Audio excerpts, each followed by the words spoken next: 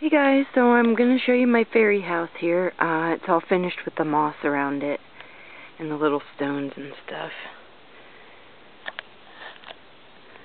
I put in, uh, I guess those are like little seeds, but I'm going to change them. And then this here's supposed to be like a little lake. And then the pathways. There's the pathway to the entrance, and inside there's moss too. I put a little table with some seashell seats. And this is like some herbs, but it's just weeds from the garden. So, here's my buddy Sylvester coming back. I think he thinks it's his house. but yeah, so there it is. I, I just wanted to show you, um,